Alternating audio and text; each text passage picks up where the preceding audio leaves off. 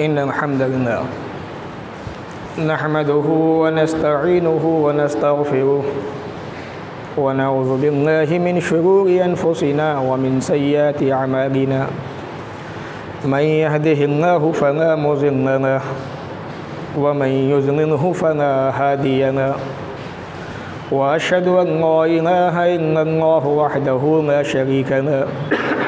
وأشهد أن محمدا عبده ورسوله. أما بعد فإن خير الحديث كتاب الله وخير الهدي هدي محمد صلى الله عليه وسلم وشر الأمور محدثاتها وكل محدثة بدعة وكل بدعة زلالة وكل زلالة في النار. فأعوذ بالله السميع العليم من الشيطان الرجيم من همزه ونفخه ونفسه. بسم الله الرحمن الرحيم. القارعة ما القارعة؟ وما أدراك ما القارعة؟ يوم يكون الناس كالفراش المبثوث وتكون الجبال كالإحن المنفوش. فأما من ثقلت موازينه فهو في عيشة راضية. وأما من خفت موازينه فأمه هاوية. وما أدراك ما هي نار حامية. رب اشرح لي صدري ويسر لي أمري واحلل عقدة من لساني يفقه قولي. رب زدني علما آمين. اللهم رب زدني علما آمين. تعریف اس رب کی جس نے ہم تمام انسانوں کو اس دنیا کے اندر، اپنی تمام مخلوقات کے اندر سب سے بہتر، سب سے افضل بنایا۔ تعریف اس رب کی جس نے ہمیں انسانوں کے اندر سے اپنے نیک بندوں کو نبی بنایا، رسول بنایا۔ تعریف اس رب کی جس نے انہی انسانوں کے اندر سے اخیر میں پیارے نبی جناب محمد رسول اللہ صلی اللہ علیہ وسلم کو قیامت تک آنے والے تمام انسانوں کے لیے رحمت بنا کے بھیجا۔ درود و سلام نازم و تمام نبیوں پر، خاص کر اللہ کے آخری نبی، پیارے نبی جناب محمد رسول اللہ صلی اللہ علیہ وسلم پر، اللہم صلی وسلم وبارک علیہ۔ سامعین آج کے اس جمعہ کے خطبے کے اندر قرآن مقدس تیسواں پارہ سورۃ القاریہ سورہ نمبر ایک سو ایک۔ انشاءاللہ اس سورہ کی مختصر تشریح، تفسیر آپ کے سامنے بیان ہوگی۔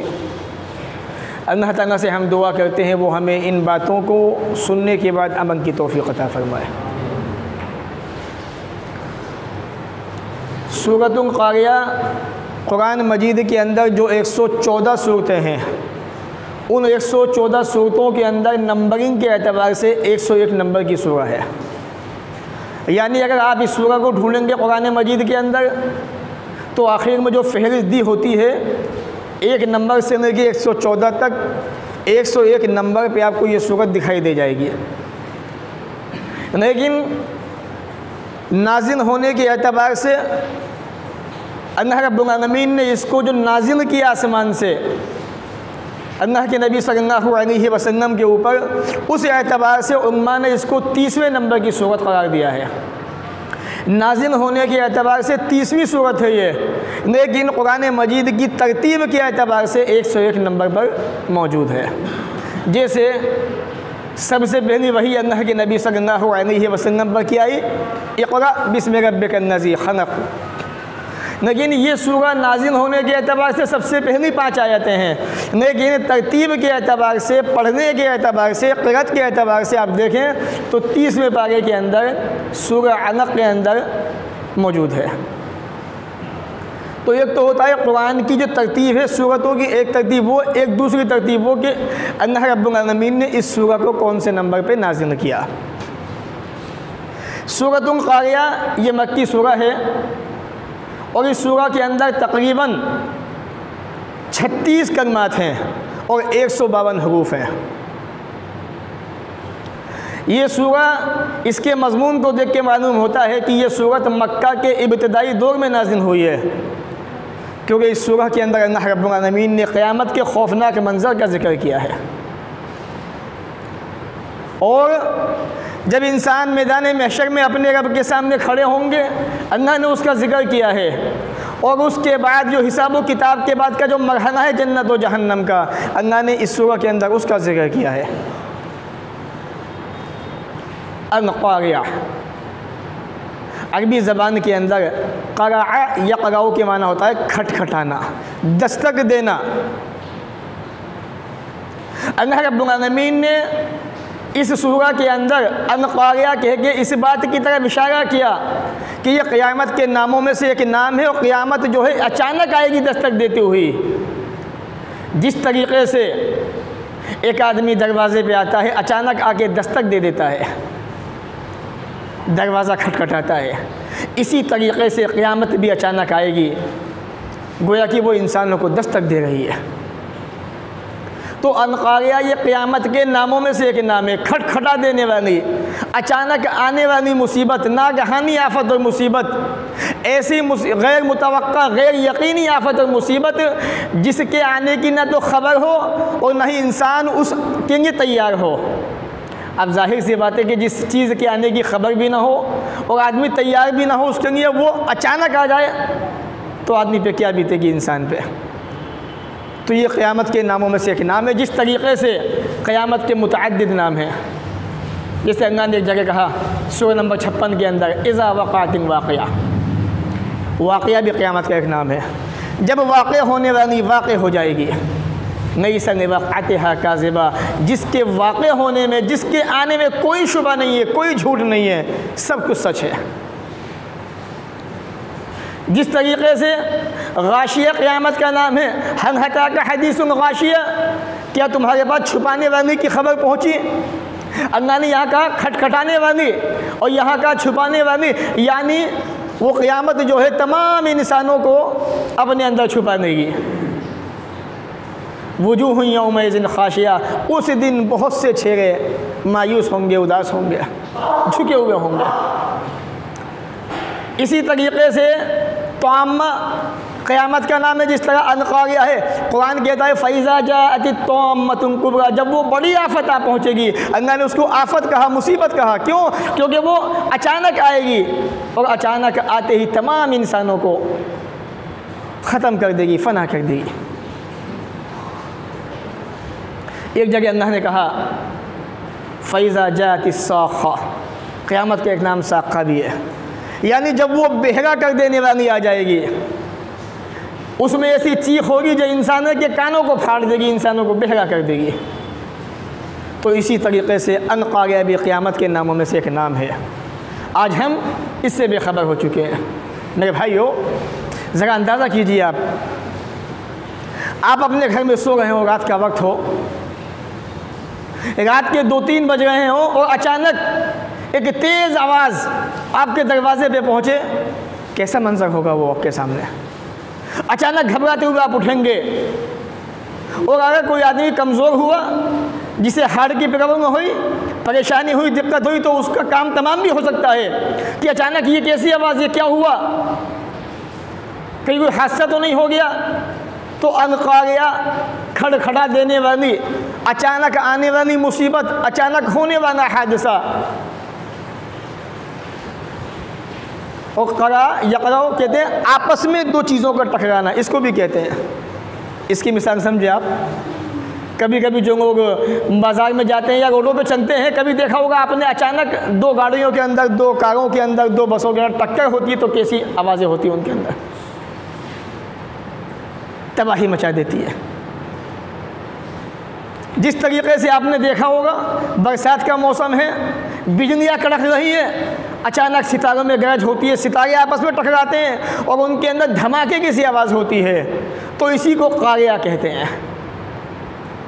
آپس میں دو چیزوں کا ٹکرانا اور اچانک آ جانا، تو یہ قیامت بھی اچانک دستک دیتے ہوئی آئے گی۔ انقاریہ کیا ہے وہ کھٹکھٹا دینے والی؟ منقاریہ وما ادرا کا منقاریہ اللہ رب العالمین نے انسانوں کے ذہنوں کو اس قرآن کی طرف سورہ قاریہ کی طرف متوجہ کرنے کے لیے تین مرتبہ اس نفس کو استعمال کیا۔ وما ادرا کا من قاریہ اور آپ کو کس نے بتایا کہ یہ انقاریہ کیا ہے؟ آپ کو کیا معلوم؟ کیا پتہ کہ یہ کھڑ کھڑا دینے والی کیا ہے؟ یہ دستک دینے والی کیا ہے؟ اللہ رب العالمین اب خود جواب دے گا اس کا۔ رب العالمین جب کسی ورڈ کو، کسی چیز کو کئی مرتبہ استعمال کرتا ہے، اس کا مطلب یہ کوئی اہم چیز بیان ہونے والی ہے۔ اور بار بار اس کا ذکر کرنے سے آدمی کی توجہ اس طرف ہو جاتی ہے۔ ایک انداز ہوتا ہے سامنے والے کی نگاہ کو، اس کے دن و دماغ کو اپنی طرف متوجہ کرنے کا۔ اللہ نے فرمایا، یوم یقون الناس کن فراشن مبسوس۔ یہ دن تو ایسا دن ہوگا جس دن انسان بکھرے ہوئے پتنگوں کی طرح سے، پروانوں کی طرح سے ہو جائیں گے۔ اگر اللہ نے آپ کو عقل دی ہے، دماغ دیا ہے، شعور دیا ہے، تو مثال کو سمجھیے آپ۔ اللہ کے انفاظوں کو سمجھنے کی کوشش کیجیے۔ اس دن انسان بکھرے ہوئے پروانوں کی طرح سے ہو جائیں گے۔ اللہ نے یہ مثال دے کے سمجھایا پروانوں کی طرح سے۔ عربی زبان کے اندر فراش کہتے ہیں مچھر یا چھوٹے چھوٹے شمع کے آس پاس، شمع محمدی نائٹ کے آس پاس منڈلانے والے چھوٹے چھوٹے کیڑے،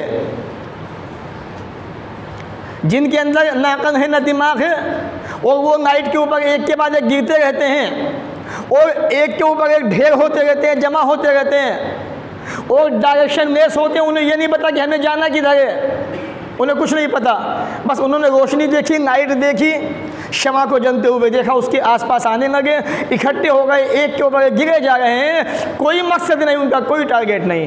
انہیں یہ نہیں پتا کہ ہمیں جانا کدھر ہے۔ اسی طریقے سے انسان جو ہے، قیامت کے دن اپنی قبروں سے نکل کے بھاگے گا۔ تو اللہ نے کہا، یوم یقون الناس کن فراش مفسوس جب انسان قبروں سے نکل کے بھاگیں گے، بکھرے ہوئے پروانوں کی طرح سے ہوں گے۔ انہیں یہ نہیں پتا کہ ہم کہاں جا رہے ہیں، کہاں بھاگ رہے ہیں۔ بس ایک بے قبر پھٹیں گی قبر سے انسان نکلے گا، بھاگے گا سی بس بھاگتا ہوا نظر آئے گا۔ اسی طرح سے اللہ نے قرآن میں کہا کہ انہم جراد منتشر گویا کہ وہ بکھری ہوئی ٹڈیاں ہیں وہ۔ جس طرح ٹڈی دن ہوتے ہیں، ٹڈیوں کی فوجیں ہوتی ہیں، جماعتیں ہوتی ہیں، اسی طرح سے اللہ نے ان کو مثال دی۔ ایک جگہ اللہ نے کہا، سورہ مدثر کے اندر کہ انہم حمر مستنفرہ گویا کہ وہ بدکے ہوئے گدھے ہوں ایسے بھاگیں گے ایک جگہ اللہ رب العالمین نے کہا انتیس صفحے کے اندر کہ ان یوم یخرجون من الاجداس یوم یکون الناس جس دن انسان بکھرے ہوئے پروانوں کی طرح سے ہوں گے تو وہ اپنی قبروں سے نکلیں گے اجداس سے نکلیں گے میں نے کہا تھا اجداس ایسی قبریں جن کے نام و نشان مٹ چکے ہوں لاکھوں لاکھوں آدمی بھاگے گا نکل کے کروڑوں آدمی بھاگیں گے ایک ایک قبر سے بھاگیں گے انسان یہ کیا ہو رہا ہے کانہم ان ہم منتشر۔ ایسا معلوم ہوگا کہ ٹڈیوں کی بکھری ہوئی ٹڈی آئیں بہت زیادہ۔ مبسوس بکھری ہوئی، جسے اللہ نے قرآن میں کہا، وبس من ہماری جانن کثیر و نساء اللہ نے آدم کو اور ان کی بیوی بی ہوا کو پیدا کیا دونوں کو۔ اور انہی سے دونوں سے انسانوں کو، مردوں کو، عورتوں کو پھینا دیا۔ یوم یقون الناس کنگ فراشنگ مبسوس، وہ دن بڑا وحشتناک ہوگا، بڑا خوفناک ہوگا۔ میرے بھائیو، وہ احساس پیدا کیجیے اپنے دنوں کے اندر کہ کیسا منظر ہوگا وہ۔ جب انسان جو ہے، ایسے بھاگ رہا ہوگا بد کے ہوئے گدھوں کی طرح سے۔ آج ہمیں اسی منظر کو، اسی حیبت ناک منظر کو سمجھنے کی ضرورت ہے۔ وہ قیامت کا دن بڑا ہولناک دن ہے میرے بھائیوں جو آنے والا وقت ہے وہ۔ آج ہم نے اپنے اندر سے وہ احساس ختم کر دیا ہے۔ اللہ رب العالمین نے قرآن مجید کے اندر اسی چیز کو یوں بیان کیا ہے کہ گویا کہ وہ بکھری ہوئی ٹڈیاں ہیں پروانے ہیں پتنگے ہیں۔ وہ تکون جبان کن اہن منفوش۔ اللہ نے آگے فرمایا وہ جبان، یہ پہاڑ جو زمین کے اندر گڑے ہوئے ہیں۔ کن اہن منفوش اہن کہتے ہیں، اس اون کو یا روئی کو جو رنگین ہوتی ہے، رنگ برنگی ہوتی ہے۔ جس طرح سے ایک آدمی جو کو روئی کو یا اون کو دھنتا ہے اور وہ اس کے بعد ہوا میں اڑنے لگتی ہے، نظر آتی ہے، دکھائی دیتی ہے، تو اللہ نے کہا یوم و تکون کن اہن منفوش یہ پہاڑ جو ہیں، جو زمین میں گڑے ہوئے ہیں۔ عمدہ لکھتے ہیں، جو ماہرین فن ہیں اس چیز کے، تاریخ کے، ہسٹری کے، کہ یہ پہاڑ جو زمین کے اوپر ہمیں دکھائی دیتا ہے، اس کا دس گنا زیادہ زمین کے اندر گڑا ہوا ہے۔ یعنی ایک پہاڑ کتنا اونچا ہے؟ اس کا دس گنا زمین کے اندر موجود ہے یہ پہاڑ۔ اور جب انگ قاریہ آئے گی، کھڑ کھڑا دینے والی، دستک دینے والی، جسے اللہ نے قرآن میں کہا، یوم ينفق في الصور فصيق من في السماوات ومن في الارض الا من شاء الله یاد کیجیے اس دن کو جس دن سور میں پھونک مارا جائے گا۔ یہ کیفیت اسی دن ہوگی انسانوں کی جب سور کے اندر پھونک مارا جائے گا، تو زمین و آسمان پہ جتنی مخلوق ہے، سب جو ہے بے ہوش ہو کے گر پڑیں گے۔ اسرافی علیہ السلام والسلام سور پہ منہ لگائے بیٹھے کھڑے ہیں۔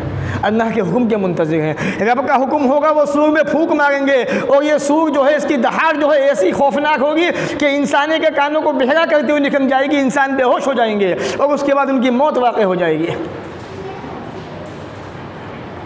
انا منشا اللہ مگر جسے اللہ تعالیٰ بچانا چاہے اسے بچا لے گا تو وہ تکون جبان یہ پہاڑ ہو جائیں گے کنگ اہن منفوش رنگین دھنی ہوئی اون کی طرح سے روئی کی طرح سے ذرا اندازہ کیجیے آپ یہ پہاڑ جو ہے زمین پہ کتنی مضبوط مخلوق ہے اللہ رب العالمین کی آدمی اس کو ہلانا چاہے تو ہلا نہیں سکتا آدمی اس کو ٹس سے مس کرنا چاہے نہیں کر سکتا۔ لیکن جب قاریہ آئے گی، قیامت آئے گی، سور کے اندر پھونک مارا جائے گا، اللہ فرماتا ہے، یہ پہاڑ جو ہے دھن ہوئی اون کی طرح سے ہو جائیں گے، روئی کی طرح سے۔ ہواؤں کے اندر بکھرتے ہوئے نظر آئیں گے۔ جسے اللہ نے قرآن کے اندر، سورہ نبا کے اندر فرمایا، تیسرے بارے کی پہلی سورہ ہے۔ سورہ نمبر اٹھہتر وسوئی دن جبان و فقان سرابا۔ یہ پہاڑ جو ہے چنا دیے جائیں گے وہ سراب معلوم ہوں گے۔ سراب کسے کہتے ہیں؟ اس ریت کو کہتے ہیں جو دور سے پانی دکھائی دیتا ہے۔ آپ نے تجربہ کیا ہوگا، دیکھا ہوگا۔ اگر کہیں ریت پڑا ہوا ہو، دور سے آپ آ گئے ہوں، تو ایسا لگتا ہے پانی دکھائی دے گا۔ یعنی لیکن جب پاس میں پہنچیں گے تو پانی کچھ نہیں ہے، محض وہ ریت تھا۔ تو اسی طرح سے قیامت والے دن پہاڑوں کا منظر ہوگا۔ یہ پہاڑ جو مضبوط دکھائی دے رہے ہیں، یہ ہمیں پہاڑ دکھائی دیں گے، لیکن پاس جا کے دیکھیں گے تو ان کی حیثیت کچھ بھی نہیں ہوگی۔ ہوا کے اندر اڑتے ہوئے دکھائی دیں گے۔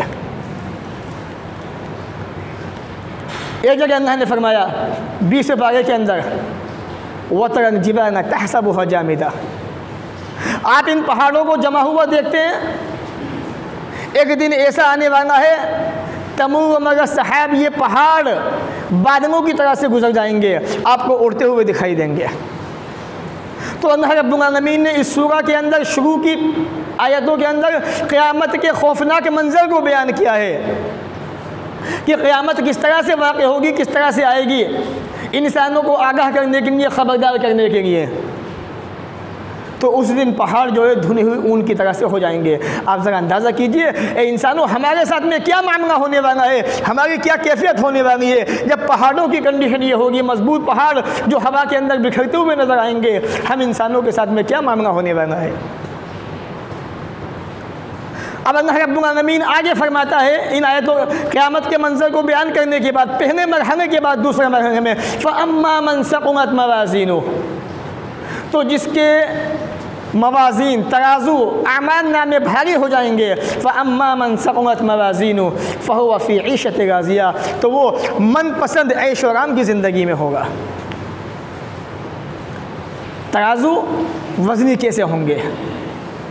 نیکیوں کے ذریعے سے، اچھائیوں کے ذریعے سے، عبادات کے ذریعے سے، اطاعت رسول کے ذریعے سے۔ ہر اس ذریعے سے جو رسول اکرم صلی اللہ علیہ وسلم نے ہمیں بتا دیا۔ ہر اس کام سے جو اللہ نے ہمیں اپنے نبی کے ذریعے سے پہچانوا دیا۔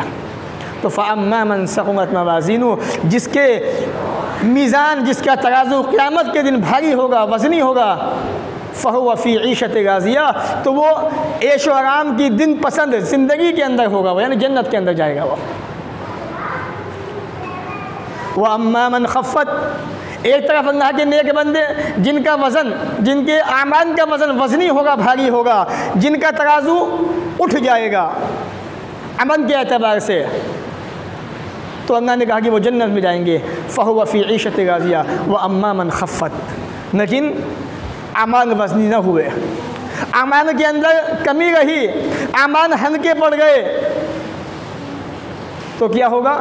وہ مَنْ خفت مَوَازِنُ جس کے اعمال، جس کا میزان، جس کا ترازو ہلکا پڑ گیا فعم ہو حاویہ، تو اس کا ٹھکانہ حاویہ ہے۔ عربی زبان کے اندر ام کہتے ہیں ماں کو۔ یعنی جس طریقے سے ماں بچے کی پناہ گاہ ہوتی ہے، اسی طرح سے جہنم بھی جو ہے، اپنے اندر آنے والوں کی پناہ گاہ ہوگی، اپنے اندر ان کو جگہ دے گی۔ اور بعض کہتے ہیں کہ ام کے معنی دماغ کے ہوتے ہیں۔ یعنی جہنمی جہنم کے اندر جو ہے اپنے سروں کے بند گھسیٹ کے پھینکے جائیں گے۔ اور دونوں ہی چیزیں خطرناک ہیں۔ فَأُمَّهُ مہو حاویہ، تو اس کا ٹھکانہ جہنم ہے۔ اگر ترازو وزنی ہے، بھاری ہے، تو عیش و آرام کی زندگی ملنے والی ہے۔ لیکن اگر ترازو کے اندر ہلکا پن آ گیا امان وزنی نہ ہوئے امان میں کمی رہی امان جو ہے سنت کے مطابق نہیں رہے، تو یاد رکھیے فعم حَوِيَا حاویہ، تو اس کا ٹھکانہ حاویہ ہے۔ اب اللہ کہتا ہے وہ معذرا کا ماہیہ اور تمہیں کیا معلوم؟ یہ ہے کیا چیز؟ یہ ہے کیا چیز؟ فعم حاویہ جو ہے، یہ حاویہ ہے کیا؟ تمہیں کیا معلوم؟ یہ حاویہ من اسمائی نار جہنم کے ناموں میں سے ایک نام ہے۔ جیسے اللہ نے قرآن مجید میں کہا، سعیر دہتی ہوئی آگ۔ ختمہ کہیں اللہ نے کہا، کہیں انگا نے جہیم کہا، کہیں اللہ نے کچھ کہا۔ کہیں اللہ نے کہا نزاعت النشوا چمغی کو ادھیڑ کے رکھ دے گی۔ کھانوں کو کھینچنے کی چہرے سے انسان کی۔ تو یہ ساری باتیں اللہ نے قرآن مجید نے بیان کی۔ کاش ہم نے قرآن کو پڑھا ہوتا۔ ہم نے قرآن کا مطالعہ کیا ہوتا۔ تو آج ہمارے انداز ہی کچھ اور ہوتے، ہمارے اندر ہماری حیرت ہی کچھ اور ہوتی آج۔ فَأُمَّهُ حَاوِيَا حاویہ، اس کا ٹھکانہ حاویہ ہے۔ وما دَرَا کا مایہ تمہیں کیا معلوم؟ یہ ہے کیا چیز؟ اب اللہ خود کہہ رہا ہے نارن حامیہ، یہ تو تندوے و تیز آگ ہے۔ اے انسانوں، جو تمہاری چمڑی ادھر کے رکھ دے گی، تمہاری کھانوں کو کھینچ کے ڈاک دے گی۔ آج وہ احساس کہاں ہے؟ جو ہونا چاہیے تھا۔ ورنہ انسان اللہ کے عذابوں کو سن کے ڈر جاتا ہے۔ اللہ کی نعمتوں کو سن کے امیدیں پیدا کرتا ہے۔ آج تو انسان کا چہرہ جیسا مسجدوں کے اندر ہے، جیسا باہر ہے، وہی مسجد میں ہے، جیسا مسجد میں وہی باہر ہے آج۔ کوئی چینجنگ نہیں، کوئی بدلاؤ نہیں آج۔ تو یاد رکھیے، یہ منظر ہمارے سامنے آنے والا ہے۔ تباہی دنیا کے اندر مچے گی، جب قیامت آئے گی، دستک دیتی ہوئی آئے گی، انسان کے کانوں کو بہرا کر دے گی، پھاڑ ڈالے گی۔ اور انسانوں، یہ تمہاری کیفیت، تمہاری کنڈیشن ایسی ہو جائے گی جیسے کہ پروانے ہوتے ہیں پتنگے ہوتے ہیں اور یہ پہاڑ جو مضبوط دکھائی دیتے ہیں، یہ ہوا کے اندر اڑتے ہوئے دکھائی دیں گے۔ ان کی حیثیت کچھ بھی نہیں ہوگی۔ جب پہاڑوں کا معاملہ یہ ہے، ہماری حیثیت پہاڑوں کے مقابلے میں کچھ بھی نہیں ہے۔ اللہ نے کہا، یہ ناگن حامیہ بڑی خطرناک آگ ہے، تیز و تند آگ ہے جو اللہ نے جنائی ہوئی ہے۔ اللہ کے نبی نے فرمایا، اے میرے پیارے صحابہ، صحیح بخاری اٹھا کے دیکھیں آپ۔ انہا فزنت اس آگ کو کون سی آگ کو؟ نارون حامیہ کو، جو جہنم کی آگ ہے، دنیا کی آگ پر انہتر ڈگری درجے فضیمت دی گئی ہے۔ کہ یا رسول اللہ، انسانوں کو جنانے کو یہی آگ کافی تھی۔ کہا کہ یہ اللہ کا عذاب ہے جو انسانوں کو ملنے والا ہے، نافرمانوں کو، مجرموں کو۔ اللہ نے جہنم کی آگ کو اس سے انہتر گنا زیادہ خطرناک بنایا ہے۔ جس آگ کی کنڈیشن یہ ہو، اگر آج آگ کے اندر کوئی حادثہ ہو جائے، کوئی انسان گر جائے، اس کے اندر جن جائے، تو ذرا سی دیر میں یہ آگ جو ہے انسان کو خاک کر دیتی ہے، تباہیاں مچ جاتی ہیں، پریواروں کے اندر غم چھا جاتا ہے۔ میرے بھائیو، ذرا سوچو، جس آگ کو رب نے بنایا ہوا ہے، انسانوں کو سزائیں دینے کے لیے، مجرموں کو ڈالنے کے لیے، کافروں کو اس کے اندر پھینکنے کے لیے، وہ آگ کتنی وحشتناک ہوگی، کتنی خوفناک ہوگی۔ ذرا یہ احساس بھی اپنے دنوں کے اندر پیدا کیجیے اور تنہائی میں بیٹھ کے سوچئے کہ واقعی ایک دن ہم دنیا سے جانے والے ہیں۔ اگر آمان وزنی ہوئے تو اللہ کی امید سے اللہ کی رحمت سے جنت میں جائیں گے۔ آمان وزنی نہیں ہوئے، اعمال کمتر ہوئے ہم کے ہوئے، تو پھر اللہ کے عذاب کو جھیلنا بڑا مشکل ہو جائے گا۔ اس لیے تھوڑا احساس پیدا کر لیجیے اور اس آگ سے بچنے کی فکر کیجیے۔ اللہ تعالیٰ سے دعا ہے، وہ ہمیں ان باتوں کو سننے کے بعد امن کی توفیق عطا فرمائے۔ جب تک دنیا میں رکھے، عزت سے رکھے، خاتمہ بھی ہو، تو ایمان پر ہو۔ واخر دعوانا ان الحمدللہ رب العالمین۔